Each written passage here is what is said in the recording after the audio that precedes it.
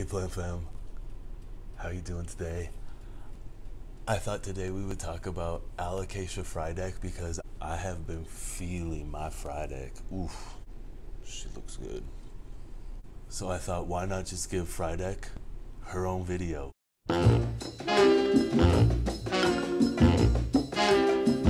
There are a few things to remember with alocasia, which is humidity.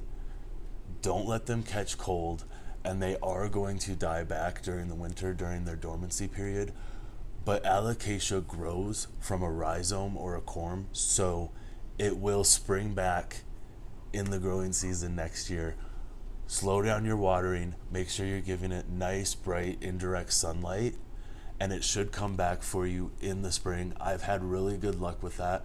I have had all my leaves die back and just have a tiny little stump, and it has come back and giving me leaves again. So don't stress out if your alocasia starts dying here in a few months because it is the change of the seasons, and you're gonna notice your plants are gonna start going into dormancy periods. So when we think about alocasia, we really want to think about where they come from to give them their ideal environment.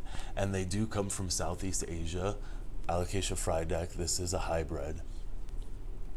And I really like to then look up the climates of those regions or even go onto iPhone and check the weather of a city in that area and check their humidity, check their weather for a good growing period and try to replicate those conditions. But I am a bit of a nerd like that, so I think that's really fun. You might think that's really stupid.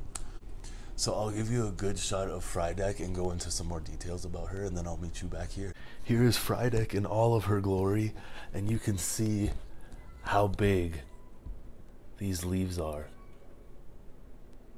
She is really out of control. I love her. Here I also have a black velvet alocasia with my Frydek, and that's really to help you see the coloring that you get with Frydek.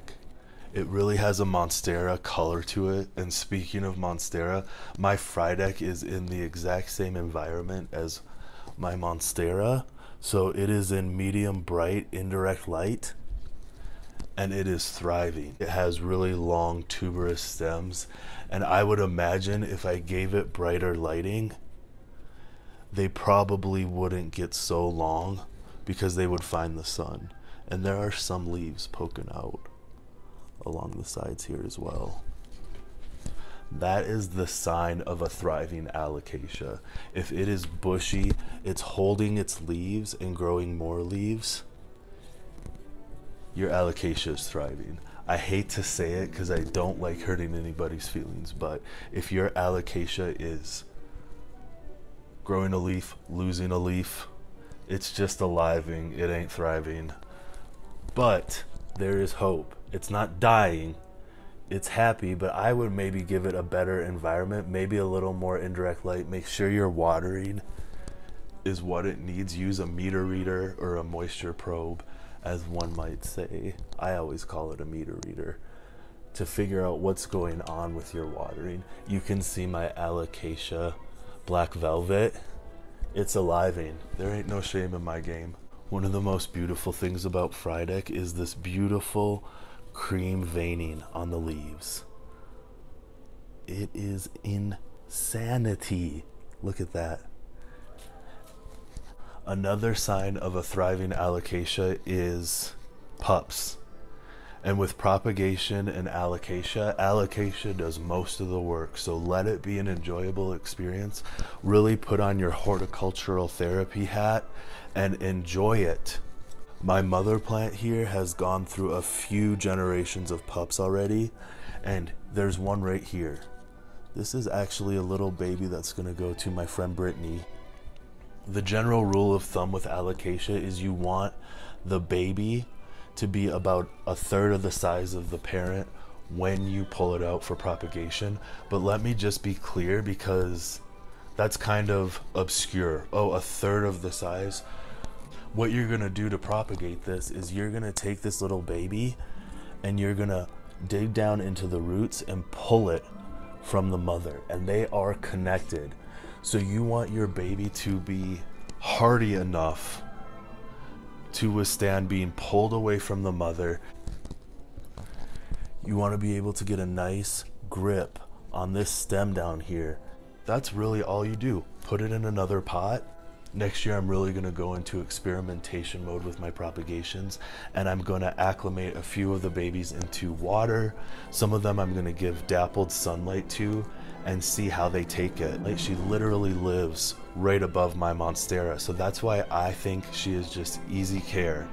Easy care alocasia definitely recommend Alocasia Frydek, especially if you're a beginner, because it's forgiving. I have underwatered it before, it didn't drop a leaf, but for the most part, it's living really well in the same environment as my Monstera. I think next year I'm gonna give her prime indirect sun placement just to see what happens. And she deserves it. She's done really well for me. It's my girl. I have mine in really well draining nursery pots. So they dry out really fast. I have a lot of orchid bark and pumice stone, worm castings, and some organic soil mix in there, along with some charcoal. So it's a really chunky tropical soil mix, and they really enjoy being in that. I do not let this dry out even close to what my Monstera does. If it's dry, I immediately water. I do let it drain and dry very well, but never bone dry. I think part of the reason alocasia get bad rep is because of their leaves. They do have delicate leaves, and once a leaf takes a little bit of damage, there's just no stopping the eventual meltdown. You can see here I have a tiny little hole here, and eventually that's just going to grow. That little nick on the leaf is going to deteriorate the whole leaf but my alocasia is so happy with itself right now that it is holding even the damaged leaves and eventually they are going to fold out. Alocasia that aren't quite as happy with their life are going to disintegrate quite a bit faster. So that's another sign that you might want to up your environment game for your alocasia. If your leaves are disintegrating really fast, here you can see a shot of the little pup that's coming out. I ain't gonna mess with it at all until it has a nice thickum stem to grab onto and pull it away from its mother. I hope you enjoyed spending some time with me and Frydek and leave me a comment and let me know. This is my first all about video, so do let me know if there is more or less you would like to hear about the plants because I do plan on doing some more of these for y'all. And also, if you have a plant that is thriving that you would like us to all get to know, subscribers, you know I love to do a good collab. So shoot me a comment, DM me on Insta, and we'll do the thing. I'll see you guys on the next episode.